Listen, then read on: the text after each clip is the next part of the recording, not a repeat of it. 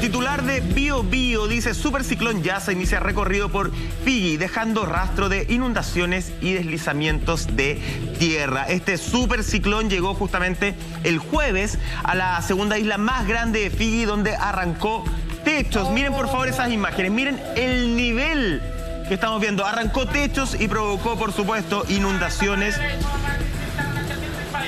Ahí estamos escuchando.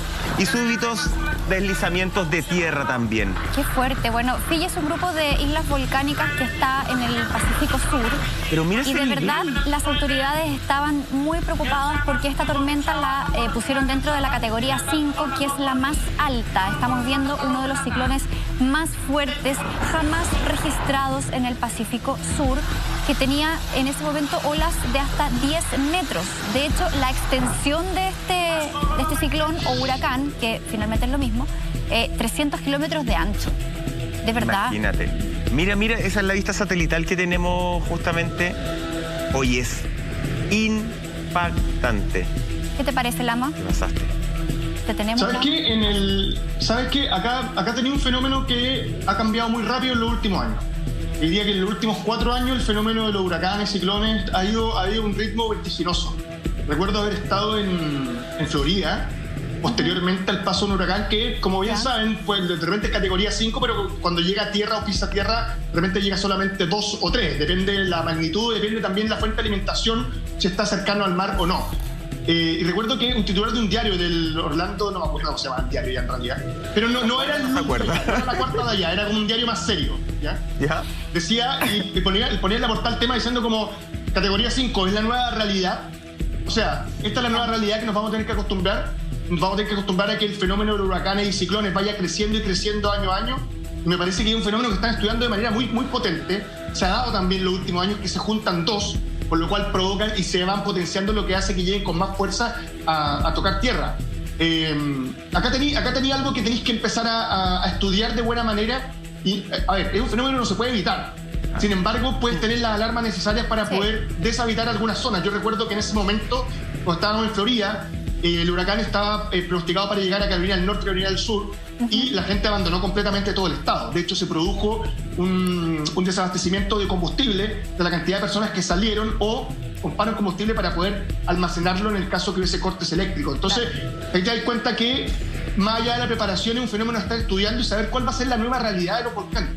Ahora, esto es un pensamiento súper personal eh, que tiene que ver con el tema de la pandemia.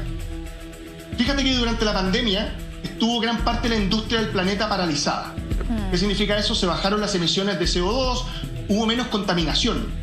O todo el mundo producía la misma basura, pero parecía que cuando está encerrado la basura termina siendo más ordenada. Fíjate que no nos enfrentamos a tantos fenómenos extremos del clima. Fíjate que en Santiago volvió a llover un par de días. Sí. Hay un fenómeno a estudiar ahí hay algo que creo que hay que empezar a, entender de mejor manera, insisto, a, reconciliarnos con nuestro ambiente para poder obtener los mejores réditos en el tiempo y poder sacar cosas que sean provechosos de él. Fíjate lo que pasó en Venecia, que mostraba los canales y el agua estaba limpia. Eso te demuestra que la naturaleza tiene una capacidad de regeneración bastante rápida, mucho más rápida que el hígado de nuestro jefe, por ejemplo, que ya su capacidad de regeneración es mínima. Entonces, ya, pero creo que es algo a tomar en cuenta. Me, parece, a mí por lo menos en el tema de la pandemia, revisé mucho esto, porque me parecía que cuando le pusimos off a todo lo que expulsamos, mm. finalmente la naturaleza tomó un poco el control y hizo, hizo del tema un poco más agradable.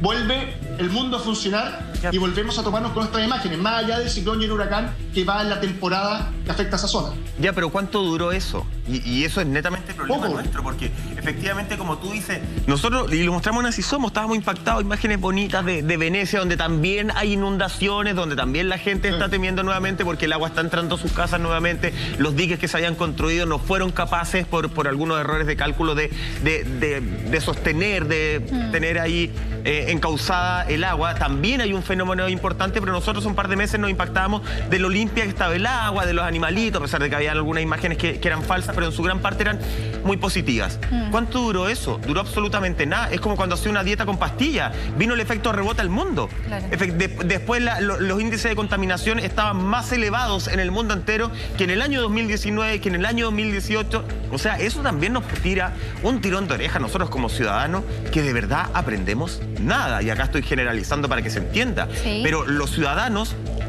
no, no sabemos vivir, no sabemos convivir con la naturaleza. Nos tuvieron que tirar una pandemia o pandemia, como le quiera llamar en su casa, encerrarnos, privarnos de la libertad de reunión, de la libertad de sociabilizar cara a cara para que el mundo se empezara a sanar.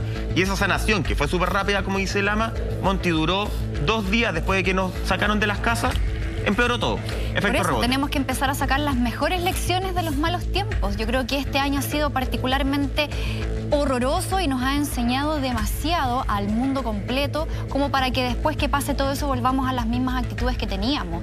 Y yo, o sea, Pero así mira, tú dijiste antes, eh, hay que ser ambientalista, hay que ser ecologista. Mira, no hay que ser ni ambientalista ni ecologista ni nada, hay que tener conciencia, no es necesario hacer... Pero la conciencia no te da plata, no, es el no problema. necesitas ser activista y andar con una bandera por la vida para poder empezar a hacer esos cambios. Y como lo decía anteriormente, estos cambios parten por las personas y tienen que llegar hasta los gobiernos, hasta las entidades que toman las de- decisiones y regulan de cierta forma el mundo.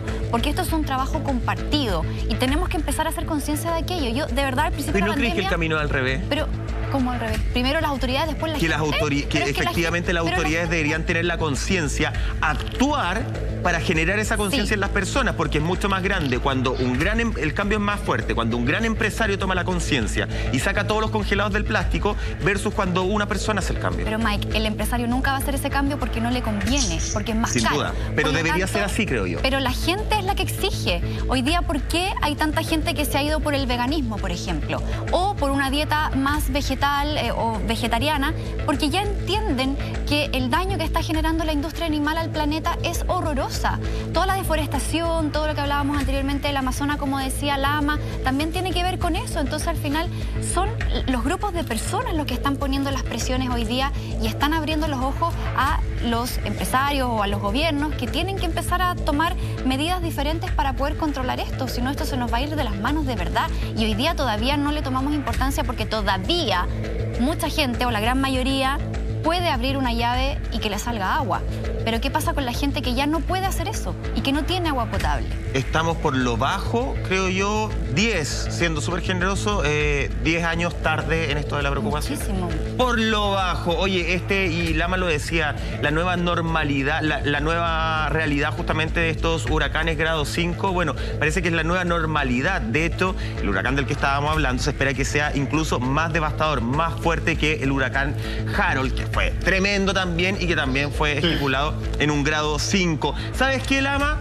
Hace un mes también hablábamos de otra realidad con el huracán Iota. Justamente pasamos a ver las imágenes. Esto fue hace tan solo un mes, son igual de impactantes. Este fue un poderoso huracán del Atlántico del 2020 en noviembre y el más fuerte de la temporada de huracanes en el Atlántico también del año 2020. El huracán que alcanzó, por supuesto, categoría 5 en algunos tramos, causó serios destrozos en Nicaragua, Honduras y Colombia. Es el segundo huracán que azota la zona en menos de 15 días. Lama, tú que tenés como harto conocimiento y harto bagaje ya en esto de, de caos climático, eh, me llama la atención huracán en, en- en Colombia particularmente, desde la ignorancia, ¿es un fenómeno común? Porque pocas veces lo vemos. Yo, yo, que lo tenga en memoria, no. De hecho, el huracán es como que se haya pasado o se haya producido en la otra costa. Claro. Originalmente en la costa, en la costa oeste, que sería donde está eh, allá Florida, y no es hacia el lado de California. Y si tú lo pensáis, eh, a ese lado colinda Colombia. Entonces, es súper llamativo. Acuérdate que también acá en Chile, en el sur, tuvimos trombas marinas. No me acuerdo cuál era el fenómeno Sí. exactamente. Sí, también claro. tuvimos algún tipo de. Y no una, ¿Te varias. cuenta que, por eso, por eso te digo, y el, do- y el 2015 hubo como un huracán, ¿te que hay imágenes de un mall, cómo se movían las ventanas? Eh, me, pare- me parece que, por eso digo, están cambiando ya en algunas zonas, como las conocíamos, no pueden seguir igual. Mi- Mira, mira, mira el tendido eléctrico que hay ahí. Fíjate. Oh, qué peligroso. Si, si esta Qué zona se va a enfrentar en el futuro a este tipo de movimientos, va a tener que cambiar la forma en la que edifica junto al mar. O sea, eh, insisto. ¡Uh, mira que haber- eso! Qué impactante. Vamos a tener que enfrentarnos a decir, ¿sabes qué? esta zona es como por decirlo de catástrofe, de este tipo de catástrofe natural, por lo cual vamos a tener que construirla de esta manera. Vamos a tener que cambiarla hacia otro lugar. Me parece que es muy complejo el panorama, y aquí me pongo la tifra de nuevo, si no nos acostumbramos a los cambios y sabemos ir con ellos. Si vamos en contra de los cambios, nos va a ir mal. Y, creo, y creo que hay que empezar a estudiar y darle mucho más espacio de parte de vista del mundo político a la ciencia y a estudiar todo este tipo de fenómenos, que haya más recursos. Porque es la única forma que los podamos enfrentar bajando la cantidad de riesgo y teniendo algún nivel de prevención hacia un fenómeno que puede ser devastador.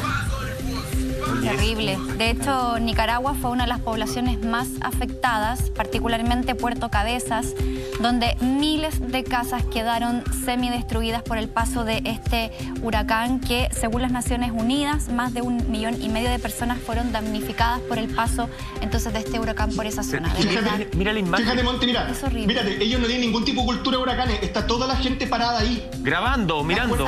Grabando, pero cualquier, cualquier persona que vive en un lugar donde se enfrenta a la temporada de huracanes jamás haría una cosa de ese tipo. Estaría en su casa encerrado en el subterráneo con, la, con las ventanas con, con, clavo y madera. estarían haciendo que esa gente. Por eso te digo, hay que, cuando una zona va a cambiar la forma en la que se enfrenta al clima, tiene que cambiar también la educación de los que viven ahí. Es que eso es muy importante. Mira, en la isla Providencia de Colombia, que fallecieron dos personas lamentablemente, eh, ahí todavía no tienen luz. O sea, a, ese nivel estamos viendo justamente, y hacían, no me acuerdo si Montio o, Lama hablaban del tendido eléctrico también. De, imagínate, ahí está, a, todo, al aire se destruye justamente. Son lugares que además, aparte de ser turísticos, no están acostumbrados, no tienen esta, esta cultura de huracanes. Y muy importante lo que decía Lama, la educación. Y hoy día en la mañana veía un matinal, el matinal de Canal 13, porque uno no lo va a poder decir. Eh, hablaba la doctora Carolina Herrera y decía en cuanto al plan de vacunación, por ejemplo, decía, no es importante no, es único fin que el país tenga las vacunas. Lo más importante, acompañado de las vacunas, es que exista un plan de educación, porque hoy día, por ejemplo, existe mucho mito con respecto a las vacunas. Lo mismo pasa con los planes medioambientales. No sacamos nada con que estén unas carpetas encerradas ahí para decir, oye, teníamos un plan, quedó la embarrada, ahora vamos a sacar esta carpeta. No, los planes medioambientales, los, planes, los estudios de, de todo el cambio climático que estamos viviendo, tienen que ser de público conocimiento de la ciudadanía. Tiene que existir transparencia en cuanto a eso. No sacamos nada con que le enseñen a esa gente después de. ¿Por qué no le enseñan antes? ¿Por qué en Chile no, no empezamos a tener cultura de huracanes el 2015 y nuestra jefa nos recordaba? Existió uno acá en Chile. Grado 1, sí, usted va a decir bajito, qué sé yo, pero existió. Y del 1 al 5 estamos a pocos años de pasar. Entonces siempre vamos como después. Siempre el efecto es la enseñanza siempre estamos tarde en todas esas cosas a nivel mundial, no solamente en Chile. Es que son temas que no se hablan. O sea, yo todavía no he visto campañas comunicacionales que hablen de cambio climático y de efectos que está teniendo eh, todos los fenómenos naturales que estamos viendo en el mundo. De hecho, las noticias por ahí de repente en los bloques internacionales muestran una que otra imagen pero en realidad falta mucho, falta mucho por concientizar. Todavía creemos que esto, esto está en las películas, estos son hechos aislados. Creemos que no nos va a pasar nunca porque Chile no es un país de tornado. Entonces, no, ah, entonces no pueden llegar. Sí, o sea, pensar en un sótano en la casa eh, es raro. No sé, por poner un ejemplo muy extremo. Pero al final son cosas que tenemos que ir implementando desde ya y tienen que partir con las conductas que tenemos eh, en el día a día.